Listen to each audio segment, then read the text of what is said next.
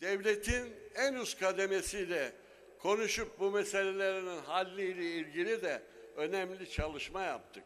Biliyorsunuz mecliste yasa zincir marketler ekmek ve sigarayı satamayacaklar.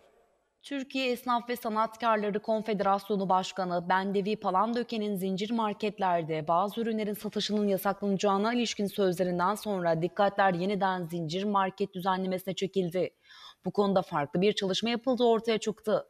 Geniş kapsamlı olan zincir market ve perakende taslaklarından bazı maddelerin alınarak mini bir paket yapıldığı ve Türkiye Büyük Millet Meclisi'ne gönderilmesine karar verildiği öğrenildi. Düzenlemeye göre zincir marketlerde beyaz eşya, elektronik eşya, mobilya, ev tekstili, kırtasiye, nalburiye ve hırdavat satılmayacak. Denizli Esnaf ve Sanatkarlar Odaları Birliği Başkanı Mehmet Ali Erbey'i bu durumu yorumladı. E, iyi değerlendiriyoruz. Yani küçük esnaf açısından çok güzel bir karar.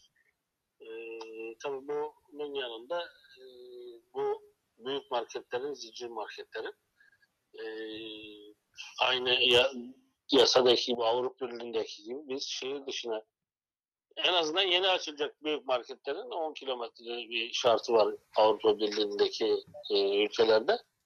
En azından yeni açılacak büyük marketlerin dışarıda açılmasını istiyoruz. Yani bu şehir merkezinde küçük esnafı bitiriyor bunlar.